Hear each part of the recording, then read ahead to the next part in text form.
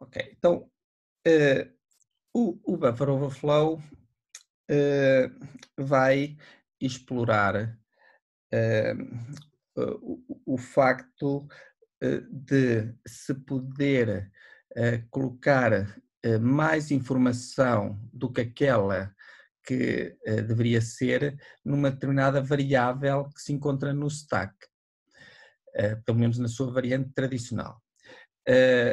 Nisso aí, tipicamente explora-se um buffer, portanto, uma variável que devia conter uh, um determinado número de caracteres, por exemplo, uh, de modo que nós vamos colocar lá mais valores do que aqueles que cabiam dentro dessa variável. E eu, se colocarem mais valores, o que vai acontecer é que os valores a mais vão escrever por cima de outras variáveis que estavam no stack está bem? Uh, ou noutro stack frame. Tá bem? Portanto, a ideia do buffer overflow é, é, é esta. Eu tenho aqui um exemplo muito simples de buffer overflow, está bem? Vamos ver como é que isto funciona. Uh, é um programa em C, tem aqui o main, e neste main é declarada uma variável, uma large string com 256 bytes, e vamos colocar dentro dessa variável uh, os 256 As. Portanto, vamos encher eh, esta large string com As. Depois vamos chamar esta function, dando como parâmetro de entrada esta large string. Então vamos ver o que é que esta function faz.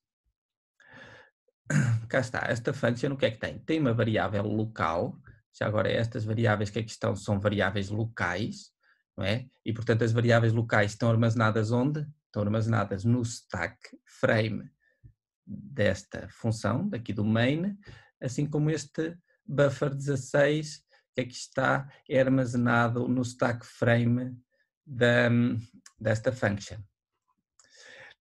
E depois, uh, nesta function, o que, é que, o que é que está a ser feito? Está a ser feita uma cópia de duas, uh, uma cópia de strings. Está-se a copiar o str para dentro do buffer.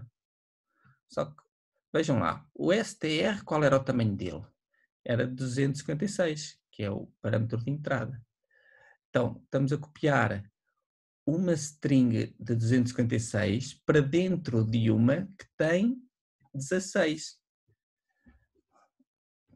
Ora, em linguagens de mais alto nível, uh, estas funções validam uh, os parâmetros do buffer, então, os tamanhos, se, está, se estão vazios, se não estão, se o tamanho uh, daquilo que está a copiar é, menor ou igual do que o tamanho daquilo que vai receber esses valores.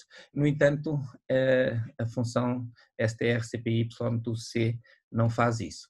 Portanto, ele deixa copiar, o que vai acontecer é que uh, variáveis ali à volta do stack uh, vão ser reescritas.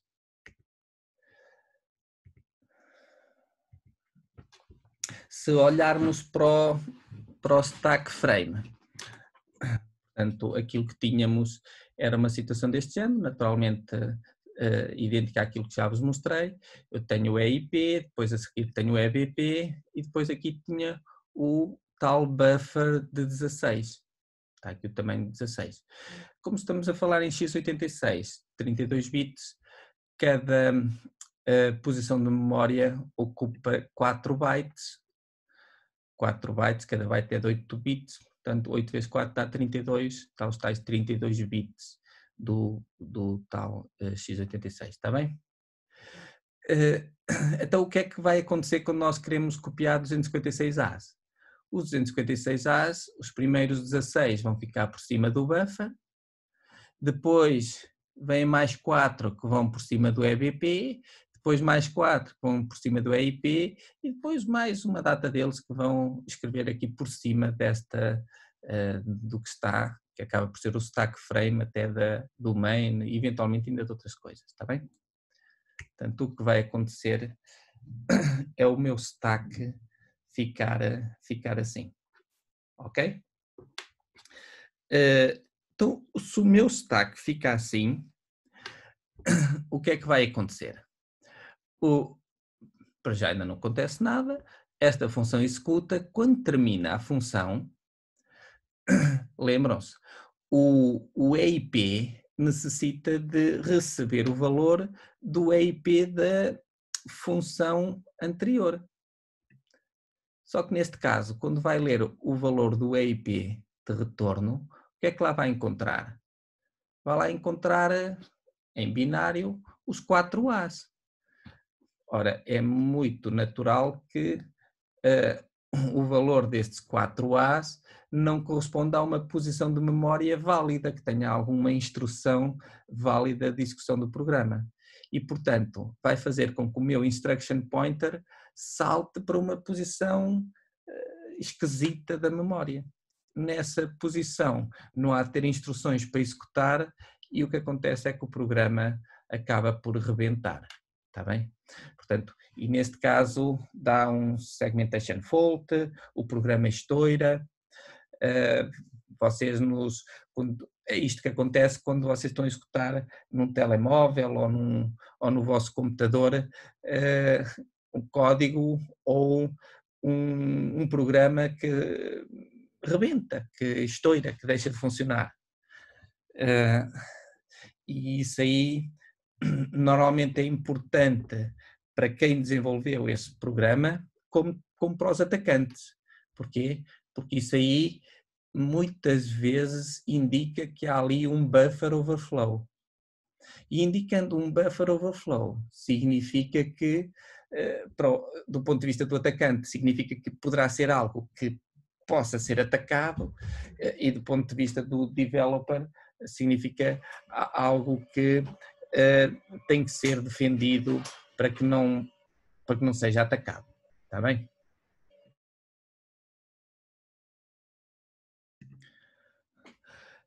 Portanto, uh, vamos ver então o, o funcionamento deste programa. Uh, eu tenho este programa aqui compilado e eu até posso posso executá-lo. O example 2. Uh, e uh, viram que quando, quando executo dá um segmentation fault, certo? e já vimos porquê. Porque de facto ele vai tentar copiar o, uma string de 256 para cima de uma string de 16, reescrevendo o, o instruction pointer e por, de retorno, portanto, quando uh, esse, o instruction pointer passa a apontar para essa posição de memória, vai saltar para um sítio que não tem lá nada uh, uh, que, que possa ser executado e, portanto, o processador dá, dá este erro. Mas vamos ver como é, que, como é que isto funciona e como é que fica realmente a memória quando isto está a ser executado. Para isso eu vou executar o GNU Debugger usando o example 2. Eh, eu posso desassemblar main. Eh, já agora, isto, isto aqui pode ser uh, muito complicado, mas eu, eu, eu digo o que é que estão a ver. Uh, deste lado tem o código C, eu pus o barra M, uh, e a seguir mostra as instruções máquina que estão a ser executadas. Uh,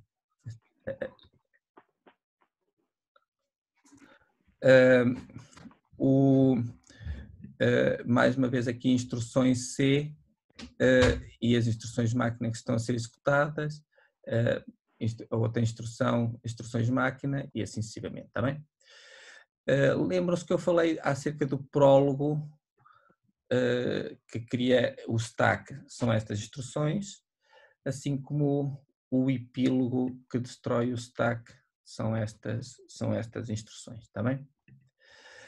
Uh, aqui no, no, no main, portanto, vai, vai, vai colocar os as na string, não, para já não me interessa muito isso, a certa altura é chamada a tal função function, está bem? Então vamos fazer o, o disassembler dessa função function. Ok, pronto. Então é mais nisto que vamos trabalhar. uh, cá está a função function, o prólogo que cria o stack frame, uh, pronto, aqui tem a declaração do buffer e depois a chamada da função string copy que vai copiar o tal buffer de 256 para dentro do buffer de 16. Cá está a chamada ao string copy aqui com o call e com o endereço de memória onde se encontra o string copy. Eh, e depois disso faz o leave eh, ret. O, o leave é tal uh, instrução que uh, coloca o ESP a apontar para o EBP uh, e faz depois o pop do EBP de modo a que o EBP fica a apontar para o stack frame para a base do stack frame do main e depois o ret a instrução que faz é dizer que o, o pop, fazer o pop do EIP, do Instruction Pointer, está bem? Ora, para vermos isto a funcionar, eu vou colocar aqui um breakpoint nesta instrução para nós vermos como é que vai ser criado o stack frame da função e depois vou pôr outro breakpoint aqui uh, para vermos como é que fica o meu stack frame depois da chamada do string copy. Querem ver? Portanto, quando eu chamar esta função, o stack frame da, sua fun da função ainda não está feito. A única coisa que cá está lá na memória, eh, se a gente olhar para a memória, vai ser o stack frame do main e depois a última coisa que foi posta que foi o instruction pointer de retorno, está bem? Uh, depois vou andar por aqui, o que é que vai acontecer? Vai fazer o push do EBP, o que é que é esta instrução, o que é que vai fazer? Vai colocar o base pointer uh, no stack, guardá-lo, e entretanto o ESP vai saltar para aqui. Depois uh, uh, vai, vai colocar o EBP também a apontar para aqui e por fim vai subtrair 0x18, já vamos ver quanto é que é isto, para criar uh, o espaço para o, o buffer, está bem? Aliás, o, o, o 0x18, nós podemos ver que são 24 bytes uh, que, que ele vai armazenar. Na realidade, isto são estes 16 do buffer, uh, mais 4 para o parâmetro de entrada do string copy e mais outros 4 para, para, para o outro parâmetro de entrada. Está bem? Então, vamos então criar os, os breakpoints e, uh, e depois executar o programa para ver isto em funcionamento. Então, vou criar aqui um breakpoint uh, já nesta posição de memória. Uh, portanto, está criado. Vou criar já o outro na no início do, do epílogo. Uh, uh, eu, eu, vou, eu vou fazer o. Uh, já, já, agora vou fazer também o.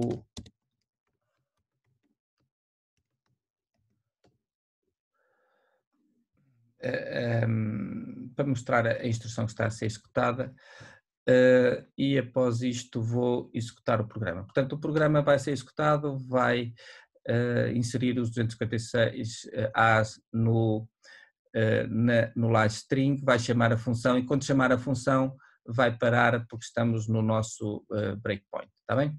Então, o R é para executar e cá está. Como, como usei ali o, o display, do dólar PC, do Program Counter, ele, ele vai dizer que estamos aqui no início da nossa, da nossa função, uh, ele vai executar o tal push do EBP, que é esta instrução do prólogo, só que nesta altura o stack, como já, já estamos na, na, nossa function, ele já teve que guardar o EIP de retorno, certo? O EIP já está a apontar para a function, e, portanto, eh, tem que ter guardado o IP de retorno do main. Eh, se eu olhar aqui para o main, eh, aqui faz o call, certamente que o EIP de retorno há de ter este valor 08048436, que é a próxima instrução que vai ser executada. Estão a ver no main esta instrução chamava a função, portanto, quando termina a função tem que saltar para aqui, está bem? Então vamos ver como é que está o stack.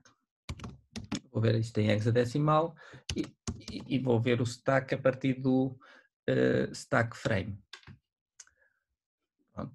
Então, aqui está o stack frame e o que é que vem, vem logo na, na, na última uh, instrução que, uh, que, está no stack frame? vemos o tal EIP, tal posição de memória na tal posição de memória para onde está a apontar o ESP, temos o, o EIP de retorno, aquele EIP que vos estive a mostrar há bocado, está bem? Pronto, então vamos fazer o push EBP, para isso vou fazer um, o step, que anda só uma instrução máquina, se eu voltar a mostrar o stack pointer, vamos ver que o, o EIP está aqui, que agora colocou, foi colocado aqui o EBP, está bem? Uh, se eu vir os registros, uh, eu posso ver que o EBP, está aqui o registro EBP, de facto está a apontar para este endereço, enquanto que o ESP tem esta posição de memória, está bem? Uh, o que vai ser feito agora é, de facto, colocar o, o EBP com o mesmo valor do ESP. Portanto, eles fizeram um step, fez aquilo, se eu voltar a ver os registros, vamos ver que tanto o EBP como o ESP têm os mesmos valores, está bem? É só olhar para este lado, está o EBP e o ESP a apontar para esta posição de memória. A próxima instrução vai, vai ser reservar este espaço do buffer. Portanto, eh, eu se fizer agora um step, se agora fizer o x barra x dólar ESP, podemos ver uh, o que se uh, o, o, o, o, que se, o que se passou, está bem?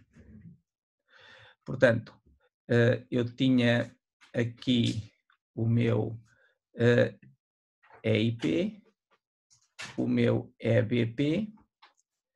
Depois tenho quatro posições de memória para o buffer e mais duas posições de memória que é para os parâmetros eh, de entrada aqui do buffer. Portanto, é isto. Eu até vos posso perguntar agora o que é que vocês acham que, que vai acontecer.